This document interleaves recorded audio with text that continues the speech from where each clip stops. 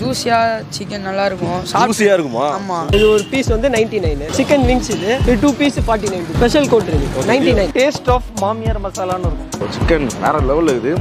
Sous இப்போ இந்த மசாலா பார்த்தீங்கன்னா நீங்கள் எந்த பார்பிக்யூ எந்த ஹோட்டலில் எந்த ஸ்டார் ஹோட்டலில் சாப்பிட்டா கூட என்னன்னா மெயின் அஜினோமோட்டோ யூஸ் பண்ணுவாங்க. இந்த அஜினோமோட்டோ வந்து என்னன்னா it's not good for health இது